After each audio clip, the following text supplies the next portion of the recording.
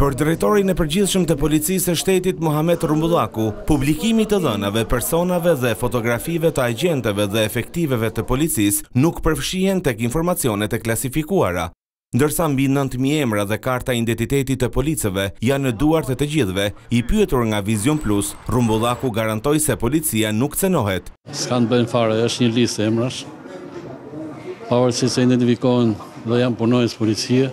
S'kanë të bëjnë me informacionin e klasifikuar sekret shtetëror, edhe as me sistemet e policisë shtetit. E disponojmë qind për qind informacionin tonë.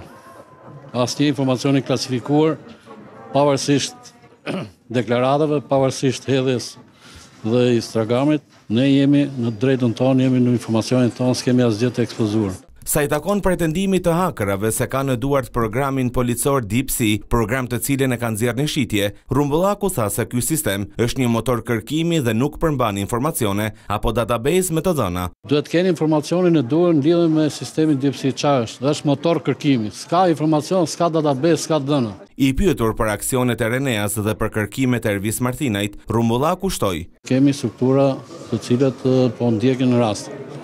Jemi në ecuri të procesit, qartë jemi në krye të detyrave të deleguara nga prokurori. Deklaratat e Rrumbullakut u bënë pas takimit të përfaqësuesve të policisë me ambasadorin e OSBE-së dhe zëvendës ambasadorin amerikan në lidhje me bashkëpunimin institucional kundër trafikut të njerëzve.